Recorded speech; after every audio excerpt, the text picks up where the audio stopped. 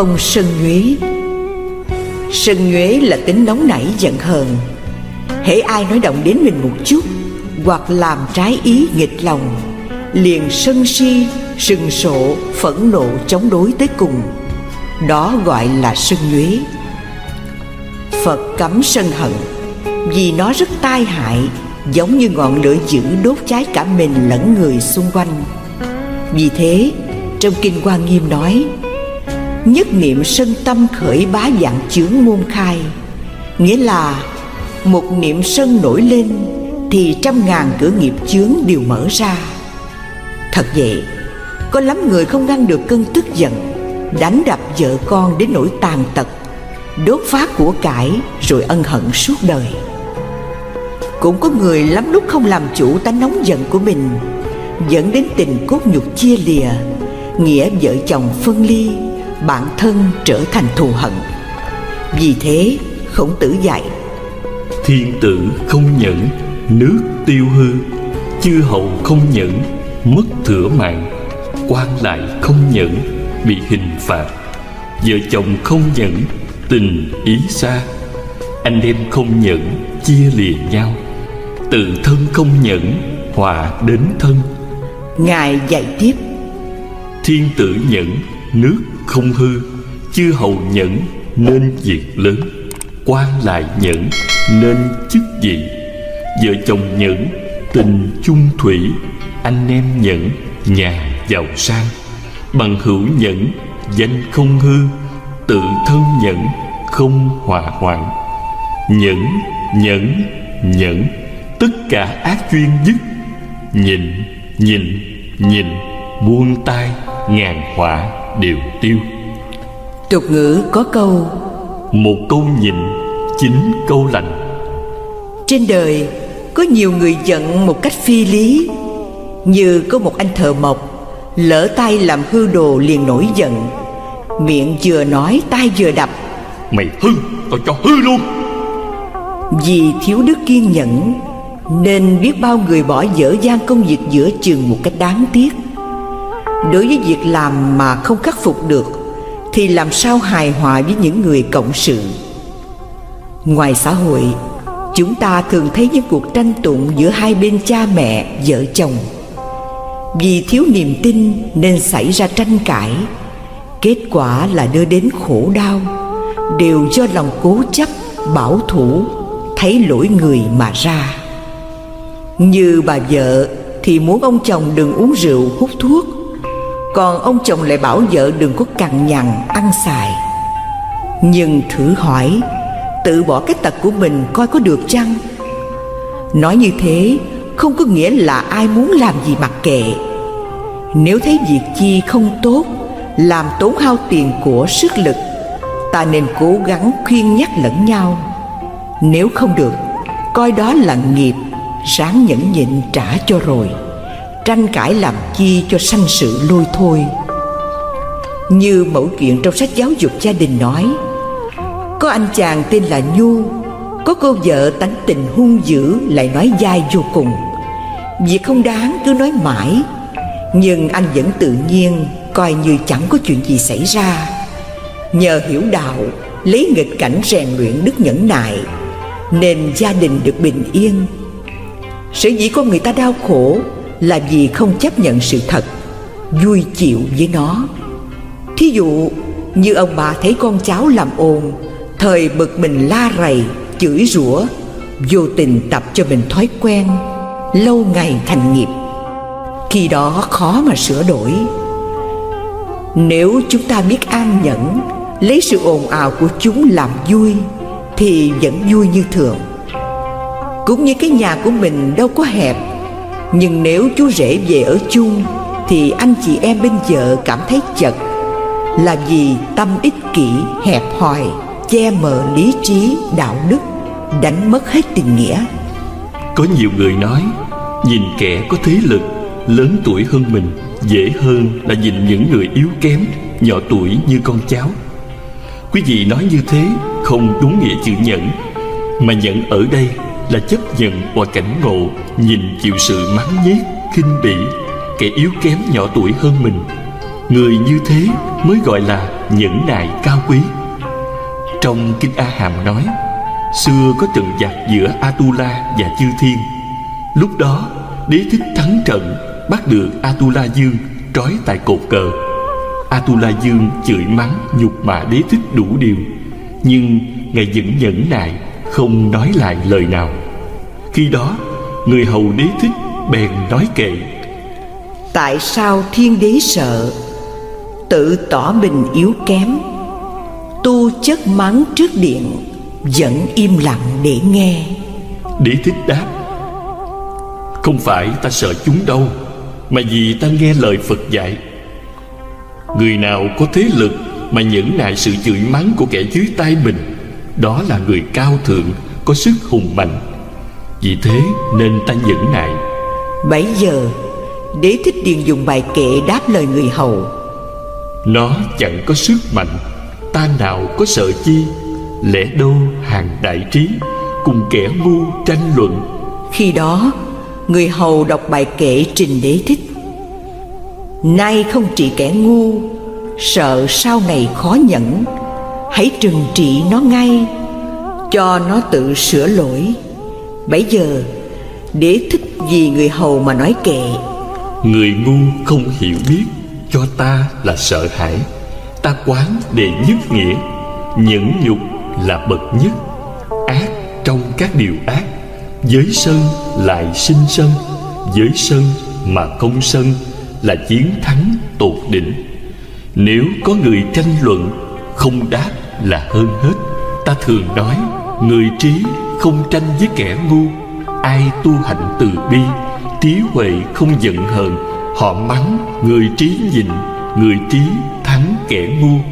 Phạm người có hai việc, Vì mình và vì người. Thấy người không tranh luận, Cho là họ ngu ngốc. Nếu người có sức lớn, Nhịn được người không sức Sức ấy là bậc nhất.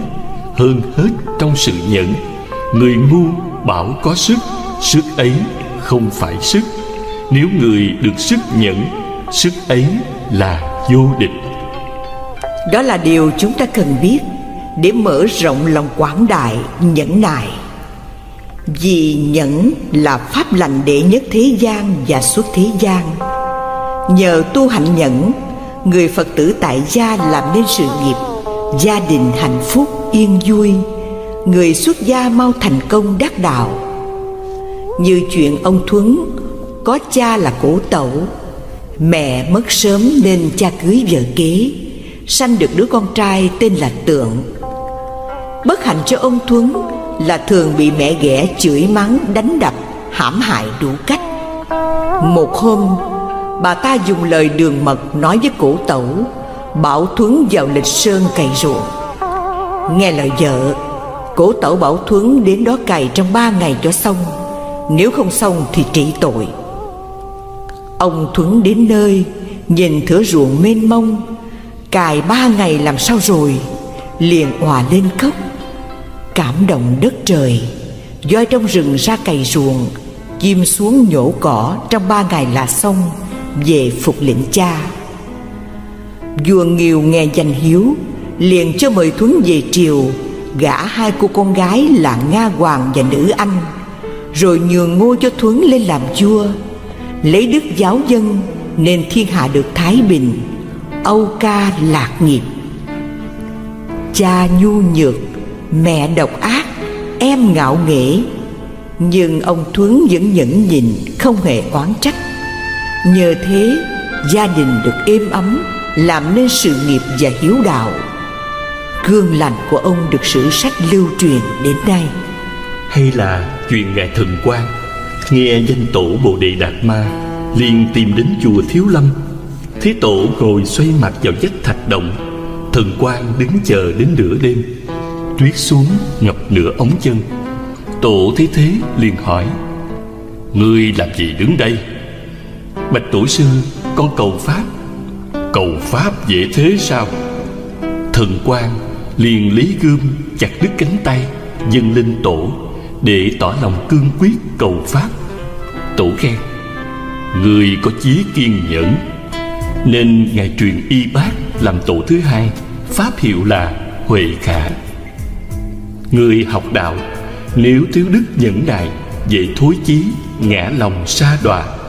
Như chuyện độc giác tiên nhân, Vì một niềm sân Không nhẫn được, Mất hết năm phép thần thông. Ông uất đầu làm phất, Do sân bị đọa làm con chồn bay. Vua A Dục không dạt được cơn giận, Sanh làm con rắn. Nên có câu, Nhất sơn chi hỏa Nan thiêu và khoảnh công đức chi lâm. Nghĩa là, Một đóm lửa sơn nổi lên, Đốt ta muôn mẫu rừng công đức. Thuở và còn tại thế, Ngài từng dạy tứ chúng các con phải biết rằng, Sân hận rất nguy hiểm, Còn hơn lửa dữ. Thường phải phòng hộ, Đừng để chúng xâm nhập. Bởi tai hại của nó Phá hoại các pháp lành, Lẫn danh thơm tiếng tốt. Đúng như trong Kinh Trung Bộ nói, Vào thời Đức Phật, Có nữ gia chủ tên là Vedehika, Nổi tiếng là người hiền thục, Nên được người đời tán dương ca tụng. Đứa tớ gái Kali nói, Chưa chắc. Sở dĩ bà ta hiền Là vì chưa có ai làm trái ý. Để mình thử xem thật hư thế nào. Theo thường lệ, Cô thức sớm quét dọn, Dâng nước cho bà rửa mặt điểm tâm. Hôm nay ngủ một giấc tới trưa. Bà thấy thế trợn mắt, Nhưng cô vẫn tiếp tục làm như vậy đến ba bốn ngày. Bà ta nhẫn hết nổi vào phòng lôi cô ra chửi mắng. Sẵn tay lấy cây gài cửa đánh vào đầu. Máu chảy lai láng. Cô tớ chạy ra đường khóc la. Bà con cô bác ơi Lại đây mà xem. Bà Vedehika đánh tôi lỗ đầu. Kể từ đó Không còn ai gọi bà là người hiền nữa. Thế gian có vô số chuyện rắc rối Không sao kể xiết Giống như cuồng chỉ rối Chúng ta hãy cố gắng đề phòng Nhẫn nại Để gỡ những cái gút. Nếu bực tức bước xé, Rối càng thêm rối. Chính vì thiếu đức khiêm nhường nhẫn nại, Nên có nhiều người hay than, Sao Sao tôi sống ở đâu cũng không được? Bởi vì họ quá đề cao, Tự cho ta đây là tài trí hơn người, Không nhịn một tiếng, Chẳng chịu thua một câu thì thử hỏi sống ở đâu cho được. Nên có câu, Người khôn ít nói nghe nhiều Lựa lời đối đáp Lựa điều hỏi han. Trước người hiền ngõ khôn ngoan, Nhường trên một bước rộng đàn dễ đi. Việc người chưa nói làm chi, Chuyện mình mình biết, Vậy thì mới khôn. Hay là, Nhẫn một tiếng thời sống yên gió lặng Lùi một bước Thì biển rộng trời cao. Thật vậy, Nếu ai biết nhẫn nhịn Thì trời đất rộng mênh mông, Thông dông tự tại. Ngược lại, còn đấu tranh hơn thua Thì khó mà đi đâu được. Kinh Pháp Cú nói, không trói buộc nào bằng ái dục, không khổ nào bằng khổ ngủ ấm, không ác nào bằng ác sân hận, không vui nào bằng vui niết bàn nên phật dạy. Nếu người nào ôm lòng sân hận là tự ngang thánh đạo, mất công đức lớn, đời này và đời sau không thấy được điều gì vui thú. Chúng ta hãy suy nghiệm qua câu chuyện trong kinh hiền ngu sau đây để rút ra kinh nghiệm trong khi tu tập, ngõ hầu ngăn ngừa quả xấu về sau. Chuyện kể, vua ba tư nặc có cô con gái tên là kim cương, thân hình sần sự giống như gia cóc ai nhìn thấy đều kinh tởm tránh xa. Cho nên đức vua không cho công chúa ra ngoài, vì sợ người ta biết cho ông là người thất đức nên mới có con như thế. Công chúa kim cương khi lớn lên Tự nghĩ mình chẳng khác nào như chim lòng cá chậu. Muốn đi đâu cũng không được. Thậm chí, nghe nói Đức Phật ra đời, Định đến nghe Pháp để tu hành Vẫn không được. Một hôm, nghe tỳ nữ nói, Phật có tam minh lục thông, Chúng sanh khẩn cầu Ngài Đều được cứu giúp. Công chúa liền bảo tỳ nữ Mua sắm hương hoa, Lập bàn hương án, Hướng về Linh Thứ Sơn, thành tâm đảnh lễ, cầu xin phật từ bi chỉ giáo cho con biết cách tu hành, hóa giải ác nghiệp. Động bối tự tâm, Đức Phật dùng thần thông Bay đến ngự trên hư không Hào quang sáng chói. Công chúa nhìn lên thấy Phật Có 32 tướng tốt 80 vẻ đẹp. Trong lòng vô cùng hoan hỷ Đảnh lễ thưa rằng Bạch Đức Thế Tôn Do ác nghiệp gì Con lãnh thọ thân hình thô xấu thế này?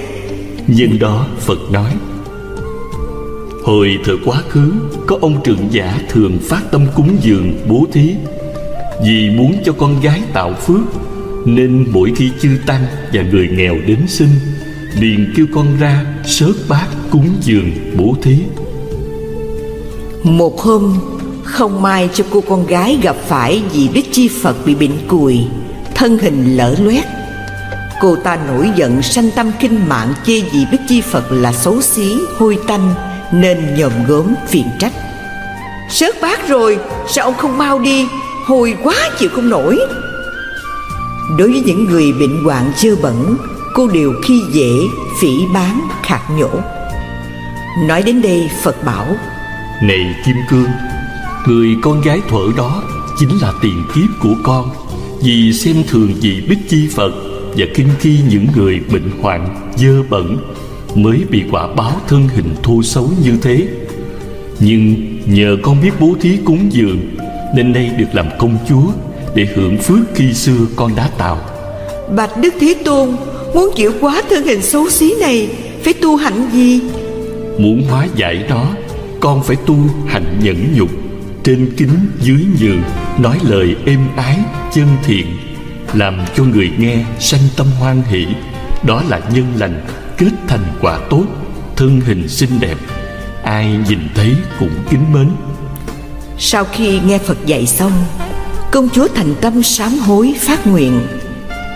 Từ đây cho đến trọn đời cô không bao giờ khởi lên tâm niệm giận hờn, Nói lời thô ác với bất cứ chúng sanh nào. Rồi chí thành đảnh lễ, Chiêm ngưỡng Đức Phật bảy lần, Tự nhiên dung mạo trở nên xinh đẹp. Chúng ta giống như một họa công, Muốn vẽ đẹp hay xấu tùy ý. Ai thực hành hạnh nhẫn nhục từ bi hỷ xả khiêm nhường, Nói lời hiền hòa là đang phát họa cho mình một bức chân dung tuyệt mỹ. Ngược lại, sân si cống cao ngạo mạn, nói lời thô tục là tự vẽ cho mình tấm hình thô xấu. Nếu ai không tin, tha hồ sân si nói càng, kiếp sau thân hình xấu xí, đi đâu cũng che đậy sợ người ta thấy. Đến khi đó ăn năn đã muộn. Người hay sân nó hiện ra tướng xấu, Tự làm khổ mình và người khác, Nên nó trổ ra quả xấu, Khổ không thể tránh được.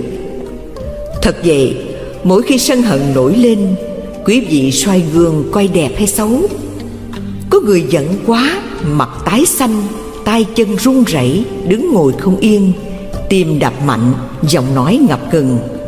Đó là nguyên nhân đau tim Tăng huyết áp, đứt mạch máu mà chết. Sở dĩ chư Phật có 32 tướng tốt 80 vẻ đẹp Là nhờ trong quá trình tu Bồ Tát Đạo, Quý Ngài giữ gìn giới luật, Thực hành nhẫn nhục, Ba la mật, Làm lợi ích an lạc cho chúng sanh, Nên được đầy đủ phước tướng trang nghiêm như thế. Chúng ta cũng thấy Người nào tu hạnh, Nhẫn thì nhan sắc dịu hòa, thân tướng đoan trang, oai nghi tề chỉnh. Như thế, đủ chứng minh nhẫn nhục hiện tại và tương lai, hưởng được sự an lạc tốt đẹp. Thế mà người đời cho nhẫn nhục là yếu hèn, họ quan niệm như thế thật sai lầm. Trong kinh tứ thập nhị chương, phật nói, người có trí huệ thấy được sự tai hại của sân hận, nên thực hành nhẫn nhục, luôn luôn phòng hộ, chẳng cho nó xâm nhập vào tâm. Nhẫn như thế được gọi là người có sức mạnh lớn. Sức mạnh của người tu không phải như lực sĩ dùng sức mạnh để đánh thắng đối phương. Như thế rất tầm thường, nhiều người làm được. Cuộc chiến thắng đó có biết bao nhiêu người đau khổ, oán thù mà sức mạnh của người tu là phải có sự nhẫn nhục, chịu đựng được những cảnh trái ý nghịch lòng.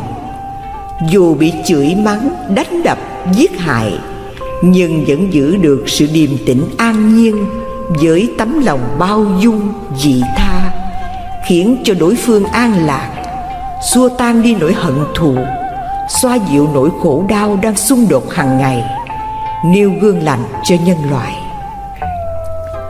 bậc trí huệ nhập đạo thường vui vẻ nhận lãnh, sự chửi mắng cay độc như uống nước cam lồ khen chê thương ghét mặt người, từ bi hỷ xả nơi nơi rải đều.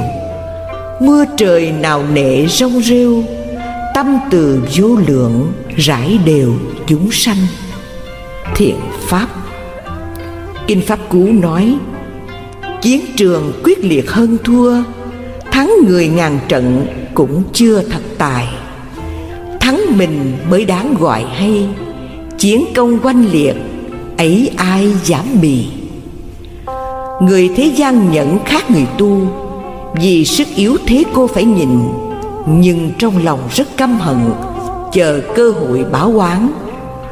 Hay là chuyện quan ức chưa biện bạch được, bởi tiền bạc che lấp sự bất công vì danh dự tông môn, gia đình phải nhịn cho yên thân.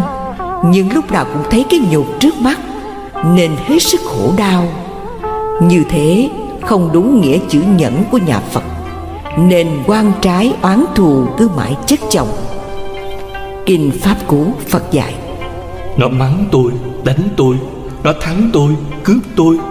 Ai ôm hiềm hận ấy, hận thù không thể nguôi nó mắng tôi, đánh tôi đã thắng tôi, cướp tôi, không ôm hiềm hận ấy. Hận thù được tự nguôi với hận diệt hận thù. Đời này không thể được, không hận diệt hận thù, là định luật ngàn thu. Muốn hóa giải oan trái hận thù, phật dạy, phải thường khởi lòng từ, tha thứ hoàn toàn đối với những ai đã từng làm mình đau khổ và không nên thấy lỗi người hằng nhận lỗi mình, thấu suốt nhân quả, ăn năn sám hối, lo tu sửa. Xem kẻ thù như phật, trời, cha mẹ, thời sẽ diệt trừ hết ác nghiệp, mau thành phật quả. Kẻ thù càng muốn ta hư, thắng thù ta cố, nên người đức cao. Ngàn xưa cho đến ngàn sau, tình thương ngăn được máu đào mà thôi. Ta đã được an tịnh không có oán và hờn. Giữa những người oán hờn, ta sống không oán hờn. Kinh pháp cú. Bởi không nghe lời phật dạy, nên có nhiều người ăn chay mấy chục năm, mà phiền não vẫn còn. Mỗi khi gặp nghịch cảnh đến, liền sân si, bực tức, la lối. Người như thế phật cho là yếu kém, không bao giờ đạt đến quả gì giải thoát. Nên ngài nói trì trai khổ hạnh, không thể bị kịp người tu hạnh nhẫn. Các con phải ghi nhớ, không nên làm nặng lòng ai hết, chớ coi họ tốt hay xấu, mà hãy xem đạo hạnh của mình có vẹn toàn hay chưa. Và bền chịu các sự nhẫn nhục, siêng học kinh, nghe pháp, giữ gìn giới luật của bậc thánh. Như thế, người ta sẽ xa lánh mọi sự buồn, mau tiến tới niết bàn.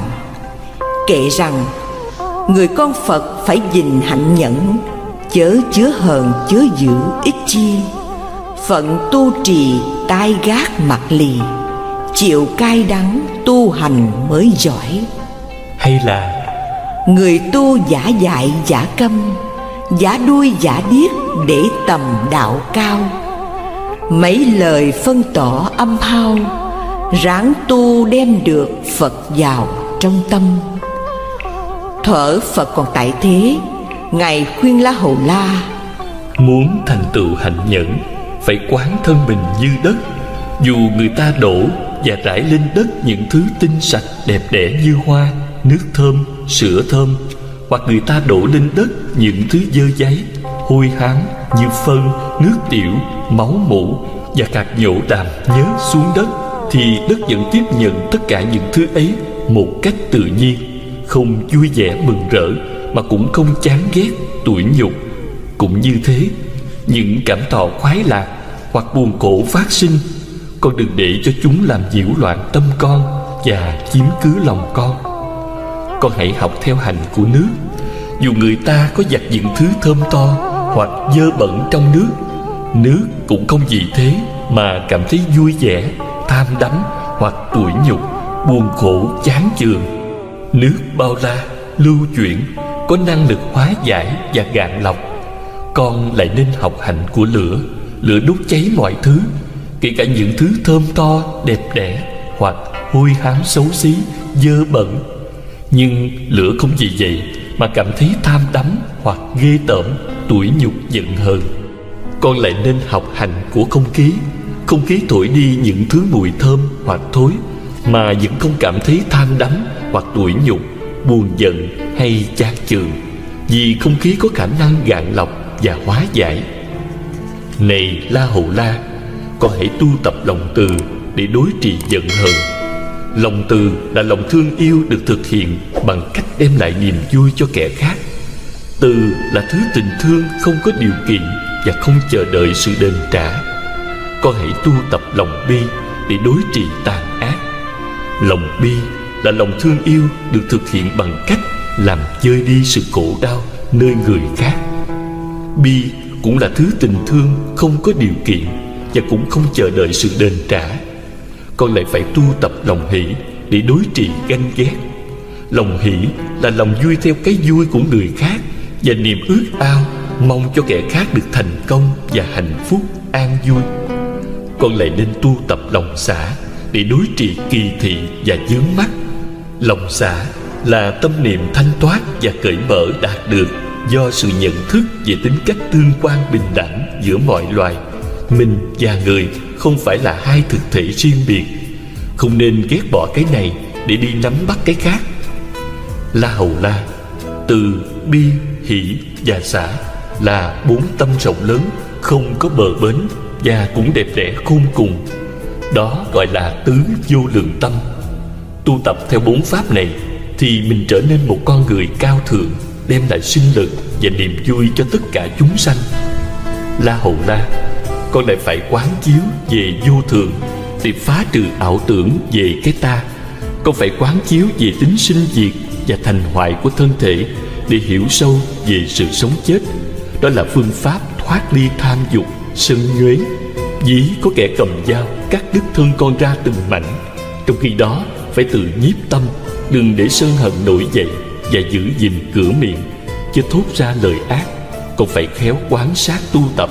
Như thế mới vượt qua mọi gian nguy thử thách của đời để hóa độ chúng sanh. Vì nhẫn dục là phương pháp diệm màu cảm hóa mọi người mà không cần sức mạnh, quyền lực và chánh trị. Được như vậy, mới đáng gọi là đại nhân, đại lực, có trí huệ nhập đạo. Người tu hạnh nhẫn nhục, Tập tánh giống như nước, Thường mềm dẻo mát dịu, Rộng lượng và khoan dung, Nhẫn nhục như bùn đất, Dù sạch dơ đổ lên, Đại địa cam thọ hết, Không tỏ chút giận hờn. Để cho chúng sanh thấy được sự lợi ích của nhẫn nhục, Phật nói Tiền thân ta làm gì tiên nhân, tên là Sàng Đề, tu khổ hạnh ở núi rừng. Một hôm, vua ca lợi cùng với phu nhân, thể nữ, quần thần vào rừng săn bắn. Đến trưa, vua cho bài tiệc ăn uống, đàn ca, múa hát vui chơi. Tiệc xong, vua ngã lưng nằm ngủ dưới gốc cây. Khi thức dậy, không thấy quan quân tỳ nữ, liền hỏi cận thần mới biết họ đi đến vị tiên nhân ở gần bên để nghe thuyết pháp. Sàng đề tiên nhân nói muôn loài đều tham sống sợ chết. Hãy lấy tình thương xóa bỏ hận thù chém giết sống đời dị tha bác ái. Có như thế mới thoát được cảnh luân hồi thường mạng chết yểu. Họ nghe qua cảm thấy tội lỗi của mình trong cuộc đi săn đầy sát khí. Tất cả đều ước mong sao được nhà vua cho về sống đời cư sĩ cơm rau đạm bạc tu hành. Khi đó, vua ca lợi đến nơi nhìn thấy, ai nấy đều kính cẩn nghe thiên nhân giảng đạo. Lòng đố kỵ dân trào, liền xuống ngựa, bước tới, chỉ thẳng vào mặt thiên nhân, chửi mắng quyển nhục đủ điều. Nhưng ngài vẫn ngồi lặng thinh, không nói một lời. Này kẻ ương ngạnh kia, trước mặt ta sao mãi ngồi lì đó? Làm gì thế? Tôi ngồi ở đây, tu hành nhẫn dục hành nhẫn dục là thế nào? Hành nhẫn là khởi tâm đại bi, khiêm nhường, ôn hòa với tất cả mọi người, từ bỏ những hành vi kiêu căng, tự đắc, thường dùng lời nói êm dịu, đạo đức, khuyến hóa chúng sanh.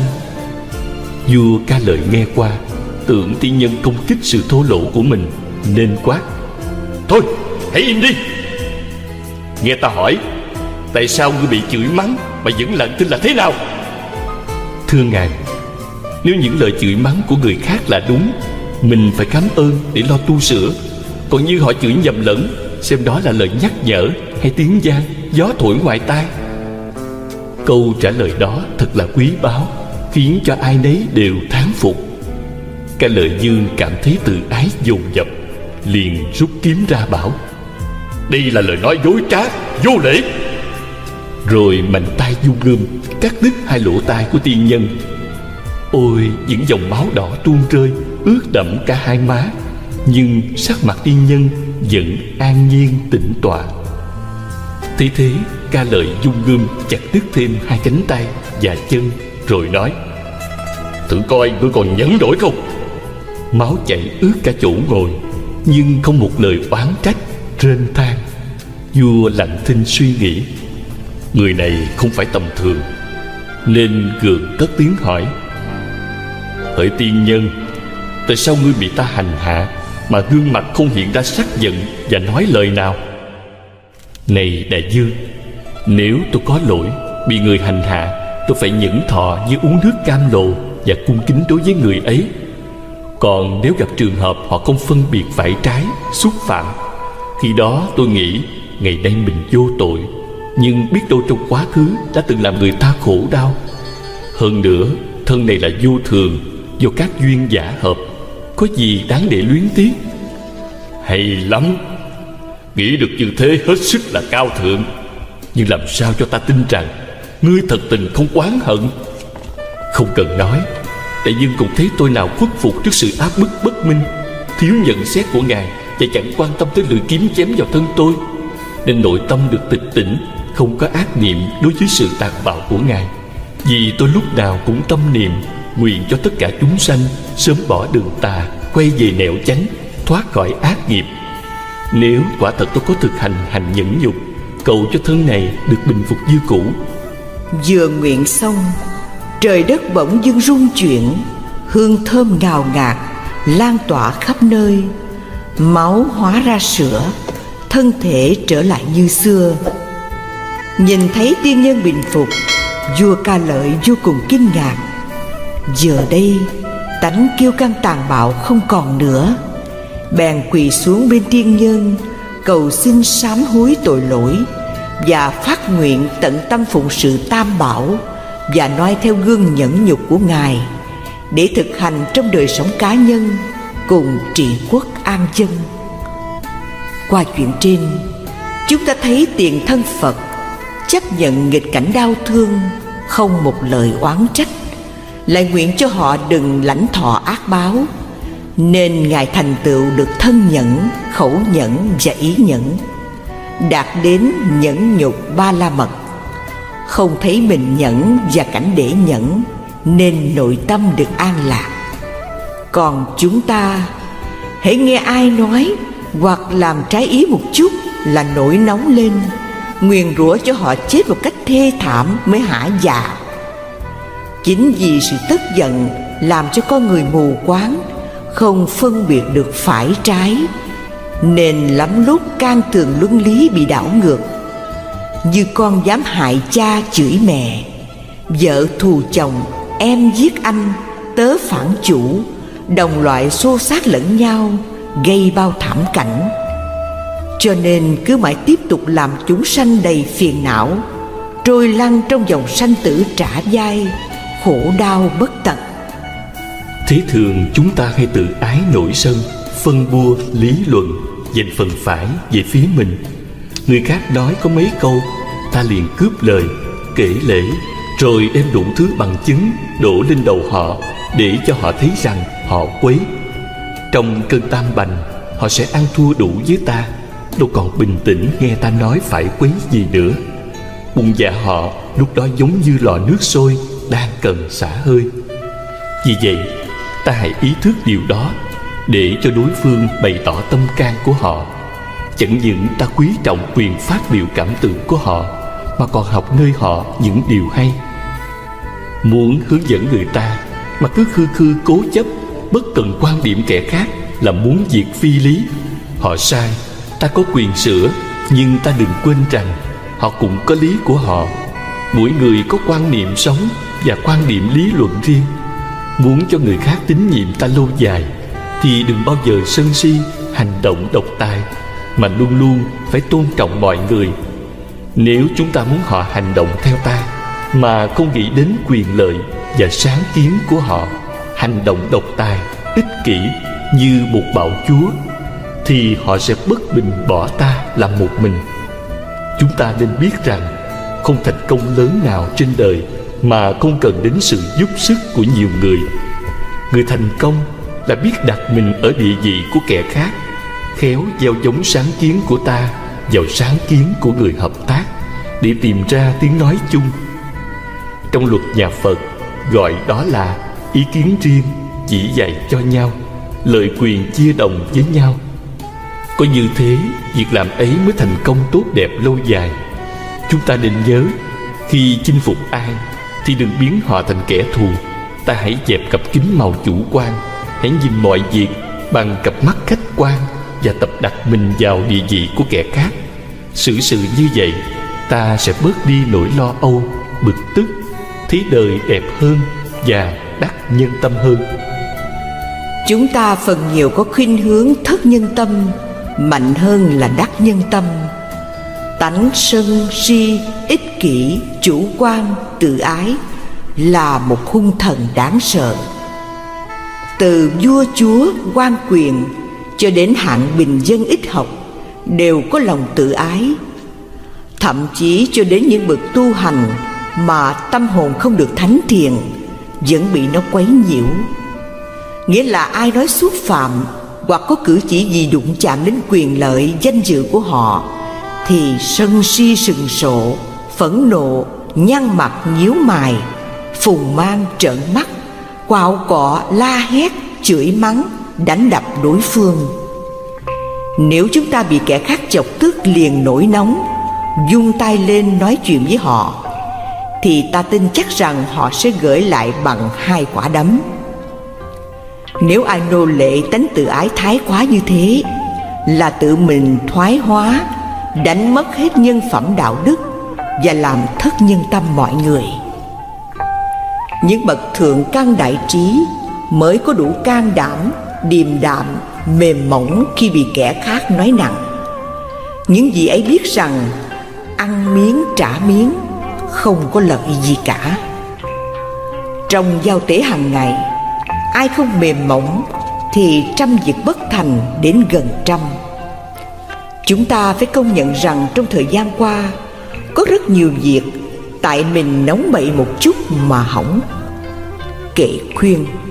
Mở tình yêu khắp nhân loại, giúp nhau cuộc sống được dày thêm ra. Giận nhau mấy cũng nên tha, thù nhau mấy cũng nên hòa tốt hơn. Hờn người tức bị người hờn, ghét người người ghét không hơn chi người. Hòa nhau cho được vui cười, hơn là thù ghét, suốt đời, âu lo. Thương người như thể chân tay, ở trong thế giới hết ai sanh rầy. Sự tu chính ở chỗ này, cho nên cần khắp nhân loại biết tu. Thanh sĩ. Muốn cho thân tâm thanh tịnh, mau thành phật quả kinh pháp hoa dạy, lấy từ bi làm nhà, lấy nhu hòa nhẫn nhục làm y phục, lấy tất cả pháp không làm tòa ngồi. Từ bi là nước cam lồ tươi mát, tưới tắt lửa phiền não, nhẫn nhục như áo giáp ngăn ngừa tên độc. Pháp không là ánh sáng trí huệ, phá tan bóng tối vô minh chấp trước ai thực hành được ba phương pháp trên để diệt trừ tham, sân, si? Tức là đã vào nhà như lai, mặc y như lai và ngồi tọa như lai vậy. Chúng ta hãy cố gắng tu tập hành nhẫn như tôn giả phú lâu na. Một hôm, ngài xin phật đến xứ vũ lâu na truyền đạo. Phật hỏi, này phú lâu na, dân chúng xứ ấy rất hung ác còn đến đó dạy họ không nghe, còn dùng lời ác mắng chửi. Khi đó, con nghĩ sao? Bạch thế tôn, con nghĩ họ là người tốt, vì chưa lấy cây, đá, đánh và ném con. Nếu họ dùng cây và đá đánh ném con thì sao? Con nghĩ họ vẫn còn lòng nhân, vì chưa đánh ném con đến chết. Nếu họ đánh đập, đâm chém con chết thì sao? Bạch thế tôn con nghĩ họ là ân nhân giải thoát dùng cái thân bất tịnh khổ đau này. Phật khen, Hay lắm, Con nhận được như thế Mới qua xứ đó truyền đạo được. Tôn giả Phú Lâu Na Qua xứ Vũ Lâu Na giáo hóa. Không bao lâu, Dân chúng xứ ấy Đều quy y Phật, Pháp Tăng Nên có câu, Con muốn tu thì việc chi nhịn hết, Nhịn nhịn hoài, Nhịn nhịn mãi, con ơi. Chẳng phải là nhịn có ba lần thôi, Mà nhịn mãi đến khi thành chánh giác. Con nhịn mãi dầu thân con có thác Thác thân con mà tâm trí nhẹ nhàng. Cõi Tây Phương con chắc chắn bước sang, Bằng con đọa thầy đây ra chịu thế. Thân con nhẫn thì việc chi mặc kệ không sát sanh, trộm cướp với tà dâm. Dầu ai kia có đánh đập, chém đâm, tìm cách tránh chứ không nên đáp lại. Khẩu nhẫn nhịn là miệng không tranh cãi, lời khoe khoang hay đâm thọc dối lừa. Chửi mắng người bốn nghiệp miệng khá chừa, gây nghiệp dữ đời sao câm con nhé. Hòa thượng giác nhiên. Phật thích ca dạy lấy từ bi thay báo oán. Đức lục tổ dạy, nhẫn là công, nhục là đức. Lão tử nói, nhu thắng cương. Hòa thượng giác huệ nói, con hãy thương những kẻ chẳng thương con con chớ ghét những người con đáng ghét. Lời phật dạy, không lầm đâu, ôn tồn dịu ngọt sẽ thắng tất cả. Nhẫn dục là phương pháp thần diệu đem lại sự an lạc cho bản thân gia đình hòa hợp, bạn hữu tương thân, tớ thầy trung tín, đồng bào đoàn kết, thế giới hòa bình. Không nhẫn thân bại danh liệt, gia đình ly tán, bạn hữu chia lìa, tớ thầy đoạn tuyệt, đồng bào xung đột, thế giới chiến tranh. Có nhẫn nhục thì lòng từ chan chứa, ban rải khắp muôn loài dạng vật sự nghiệp dân cao, người người quý mến, đạo quả viên thành. Vậy mà có nhiều người không hiểu. Họ nói, gặp phật thì tu, gặp ma phải trừ. Câu nói đó không đúng giáo lý nhà phật. Phải nói là, gặp phật thì tu, gặp ma càng tu nhiều hơn. Quý phật tử cũng thấy, khi phật sắp thành đạo Ma Dương dùng mọi cách quấy phá, Nhưng Ngài vẫn an nhiên tĩnh tọa. Thậm chí cho đến Đề Bà Đạt Đa, Nhiều kiếp đem ác tâm hãm hại. Nhưng Phật không hề oán trách, Mà Ngài còn nói, Nhờ Đề Bà Đạt Đa Mà ta mau thành chánh quả. Công đức nhẫn nhục lợi ích to lớn như thế, Chúng ta còn nghi ngờ gì nữa Mà không thực hành? Nhất là những ai đã nhiều lần bị lửa sân tàn phá tâm can gia đình sự nghiệp của mình. Hãy mau mau tu tập pháp môn nhẫn này Để khỏi phải ăn năn hối hận vì nó nữa. Người tu lại càng phải nhẫn hơn, Vì người tu mà còn giận hờn, Sắc mặt đỏ gai, Giọng nói quát tháo. Người chung quanh nhìn thấy kinh lờn, Cho dù vị đó có lão thông tam tạng Kinh điển, cũng không ai dám tin tưởng sự tu hành của họ nữa. Thế nên cổ đức dạy rằng, ác thứ chín, lửa sân luật tiếp. Lửa trong tâm, chẳng đốt mà lừng. Nổi lôi đình, đâu có định chừng. Cho ta biết mà ngăn ngừa trước. Tánh sân nộ thường làm bạo ngược, nên loài người ở cõi thế gian, giận hờn nhau, thù oán dễ tràn mới có cuộc tranh tài đấu lực, hơn tự đắc que khoang vọng sức. Phải bị người hiềm khích ghét ganh, thua hổ ngươi làm chuyện bất lành. Gây nghiệp dữ, oan oan tương báo. Trong cơn giận, kỹ gì nhân đạo, giống như con cọp dữ trên rừng. Gặp thịt toan cấu xé tưng bừng, phân từng mảnh mới là hả dạ. Diệt được nó, tâm trần thông thả ta thường nên tập tánh khoan dung. Thực hành đi, đừng có ngại ngùng. Tha thứ kẻ lỗi lầm ngu xuẩn và nhẫn nhịn, đừng ham tranh luận. Khỏi mất lòng tất cả mọi người. Tánh thuần lương, vẻ mặt vui tươi. Vậy mới đáng tín đồ phật giáo. Nay ta đã quy y cầu đạo. Ghi gỗ là trái thuyết từ bi. Trong cuộc sống chuyện buồn vui, thương ghét, giận hờn xảy ra không biết bao nhiêu lần. Cũng vì vô minh lầm chấp cho ta là thật, các pháp là thật. Từ đó phát sinh ra phiền não khổ đau. Trong lịch sử của nhân loại, có những trang sử đẫm máu như vào thế kỷ 20 trải qua hai cuộc chiến tranh thế giới, có vô số người gục ngã trên chiến trường và những nạn diệt chủng giả mang thảm khốc. Đã có hàng triệu người đã nằm xuống vì cuộc chiến huynh đệ tương tàn. Trên thế giới có đầy dẫy những điều nghi kỵ thù hằn. Chính vì thế mới xảy ra những cuộc chiến tàn khốc tan thương khổ đau. Tất cả đều bắt nguồn từ sân hận. Kệ tụng chúng sanh luống chịu trăm ngàn khổ các bệnh luôn luôn đến não hại. Giặc chết rình rập thường muốn giết. Tại sao không tu lo não hại? Chê bai mưu hại không nhân từ. Hại người chưa được tự mang quả ta nay là người cầu học đạo, mà sanh nóng giận não hại người. Phải biết ác này tội rất nặng. Tật đố tự phá cội công đức tâm từ tùy hỷ sanh phước lành. Muốn thoát bể khổ phải tu hành. Bao nhiêu công đức trang nghiêm thân. Nếu không trì giới, thiền đa văn, thân tâm khổ ách, không cùng tận. Trên đường đời để chung gai gặp gành, chúng ta gặp rất nhiều cảnh trái ý nghịch lòng. Muốn cho những đụng chạm bớt đi, các võ sư nhật dạy các môn đệ phải mềm mại như cây liễu đừng cứng như cây tùng. Nếu chúng ta không chịu mềm mại như cây liễu, mà cứ nhất định cứng như cây tùng, như thế là ta đã gây ra những xung đột bất tận trong tâm, làm cho ta lo lắng, khổ sở, cáo kỉnh, rồi sinh ra bệnh thần kinh, dị ung.